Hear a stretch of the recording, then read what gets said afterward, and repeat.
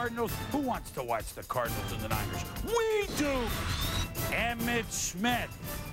Touchdown pass thrown last week. Touchdown run last week. He tries to avoid the block. Julian Peterson, the best defender on the Niners, tears his Achilles tendon. Uh, you just, if that's the case, which we believe, out the year.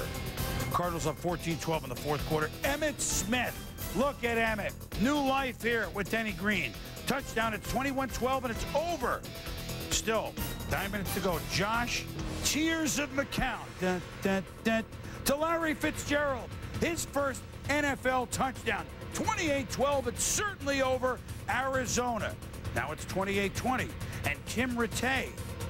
It's not Steve Bono. We're in 13. It's Tim Rattay to Brandon Lloyd. It's 28-26. Dennis Erickson obviously goes for two. Rattay. He scoops it up. Two-point conversion with a minute seven to go. Ties the game. We're tied at 28. Overtime. Niners, third and 10 at their own 38. Incomplete, but a flag.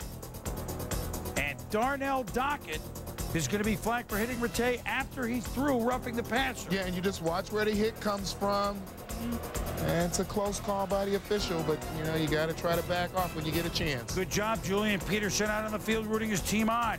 Tim Rattay to Eric Johnson from Yale. Yale. The 49ers in field goal range. And Todd Peterson is out with a 32-yard attempt. It's good. It's good. The 49ers. I wouldn't say it this morning, Tom. You didn't say it. I didn't say it because the Niners still can beat Arizona. They come from behind, seemingly way out, and they win at 31 to 28.